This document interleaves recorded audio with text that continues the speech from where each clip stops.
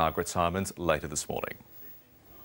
But for now, let's go back to our top story. The IMF chief Dominique Strauss-Kahn has been denied bail in New York after being deemed a flight risk. Now, a French woman has also come forward and alleged that Strauss-Kahn sexually assaulted her almost a decade ago.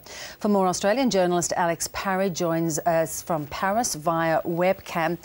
Alex, uh, uh, great to talk to you again. Uh, tell us, what do we know about this woman that has come forward?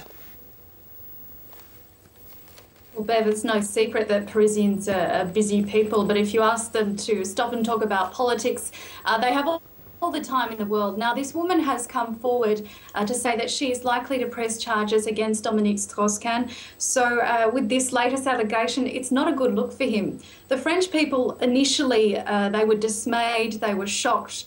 Uh, they were embarrassed, but they said, "Look, let's give him a chance. Let's let's give him decency. Let's see whether how this is going to develop." Now that he's been denied bail, they say it's looking a lot more serious. It's not just a moral issue, uh, how they accept a politician's behaviour, what they'll be allowed to do. It's uh, nationally embarrassing, uh, no matter what um, the outcome. The fact that all of the media is concentrating on this story and it has discredited him uh, to some degree. It's embarrassing for France, it's embarrassing for Europe, and it also uh, puts in jeopardy uh, his chances for the 2012 election. He was a, a frontrunner against Nicolas Sarkozy. There are, of course, other alternatives, but it, it wipes out uh, a front runner, not only uh, because of his reputation, but because of the timing of this case. Uh, because candidates here have to register by the end of June or mid July. Just with the nature of the case in New York, he won't have the chance to do that. So he's out. The French are looking to other alternatives now. Now, this uh, this young woman that has come forward, do you know which particular case this relates to? There's been some discussion that it might date back to 2002, or is it also inevitable that more and more of these uh, women might come forward now, given that he has quite an international reputation for being something of a ladies' man, and sometimes just pushing the boundaries a little too far? Look, you're right, it does date back to 2002. She's a 31 year old writer. She has floated this before.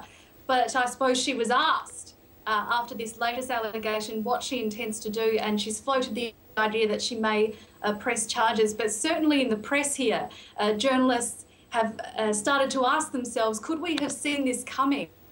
I mean, the people that mingled with Dominic Strauss-Kahn admit he is uh, an exceptional uh, politician, economist, very intelligent, has done great things in the IMF uh, during the political crisis. Um, the headlines is My Brilliant Career. I mean, he's been working on uh, the Greek uh, possible second uh, bailout of Portugal's rescue package.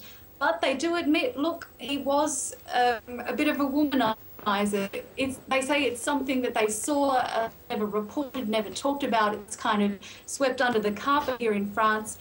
Um, but they're not um, assuming that he's guilty. They're just saying, look, we could have possibly seen this coming uh, based on his behaviour. Tom, uh, Alex Parry in Paris, thank you very much for your time. Now, the International Criminal Court prosecutor asked judges on Monday to issue, uh, issue arrest warrants for the Libyan leader Colonel Gaddafi